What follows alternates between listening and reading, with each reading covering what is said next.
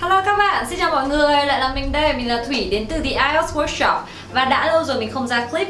Vậy trong clip hôm nay mình quyết định sẽ chia sẻ những điều thật thú vị Những kiến thức liên quan đến IELTS Speaking phần 1 về một chủ đề rất khó Làm nhiều bạn nản và cực kỳ sợ mỗi khi gặp cái chủ đề đấy. Đấy là chủ đề History. Và những câu hỏi thường gặp trong chủ đề này là Yeah, so let's follow me to answer these questions properly. So, question number one, do you like history? Mình nên thật với lòng mình nhá, mình ghét hay là không? Nếu mà không thích thì cũng phải nói lý do Và nếu là thích thì mình học được cái gì từ lịch sử để mình thích nào, thế thì mình sẽ cho các bạn biết một số cụm hay ở trong tiếng Anh. Ví dụ, mình rất là ghét tại vì cái đấy chán đúng không? Chán thì có những cái từ nó hay hơn cả boring Đấy là từ tedious Hoặc là từ mind numbing Nó làm cho mình tê đầu ấy. Hoặc là mình có thể dùng cái cụm rất là thần thái mình hay dùng đó là nước đổ đầu vịt. À, Tiếng Anh nó chính là gì? Cái gì đấy? Goes over my head. Go over somebody's head go over somebody's head. Nó chính là nước đổ lá khoai lá môn, cái gì đấy, mình không biết. Nói chung là vào một tai và ra một tai ok. Và nếu mà mình thích, mình phải nói rõ là mình thích cái gì. Ví dụ, những nhân vật lịch sử, đó là historical figures. Những sự kiện lịch sử, đó chính là historical events. Và hãy cùng xem phần sample của mình để xem mình dùng các cái cụm này như thế nào nhé. Ok. Well, to be honest, I don't take a keen interest in history. I think most of historical knowledge just goes over my head, and I think I'm more of an art person. Way number two. Well, I think history is an area of my interest. I love to learn about historical figures and historical events, so learning history could give me a better understanding of these And moving on to question number two, đối với câu hỏi thứ hai. Câu hỏi hai là một câu hỏi còn tricky, còn khó hơn cả câu 1 tại vì historical event mình biết cái event gì mà trả lời đúng không? Thế cho nên mình có thể câu giờ với các giám khảo bằng cách là gì? Mình nói những cái câu như là câu hỏi này khó quá, mình chả nhớ gì. Mình có thể dùng những cái cụm từ rất hay đạt hạng từ C2 để diễn đạt những điều vừa rồi nhé. Ví dụ như là cụm The question really puts me on the spot put somebody on the spot.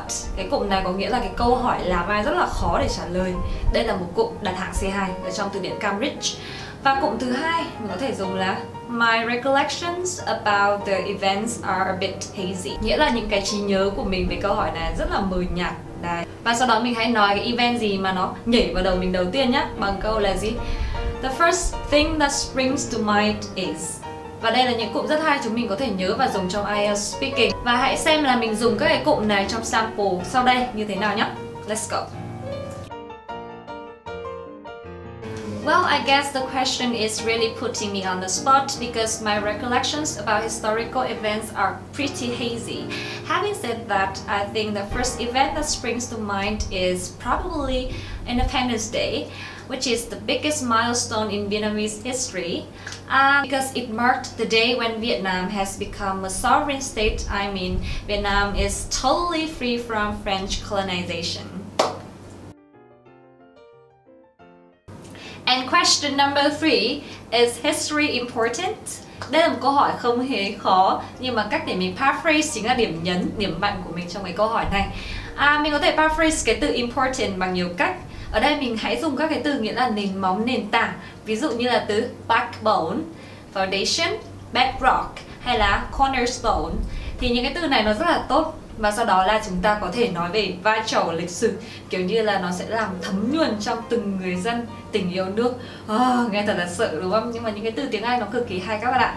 Hoặc là chúng ta có thể nói về gì? Những cái chiến tích của cha ông. Cha ông là một cái từ rất là điển hình trong chủ đề lịch sử. Đấy là từ forefathers. Và hãy cùng xem cái sample của mình để tìm hiểu những cái từ hay hơn trong cái câu hỏi này nhé. Well, definitely, history is the backbone of any society because it helps instill in every citizen a sense of patriotism, and we can acquire a deeper understanding of many formidable feats of our forefathers. When Vietnam was at war with many powerful nations, we can know that against all the odds, Vietnamese army triumphed. Và vừa rồi là cách trả lời cũng như sample và các từ vựng thú vị liên quan đến chủ đề history mà mình muốn chia sẻ với các bạn. Cảm ơn các bạn đã đón xem clip.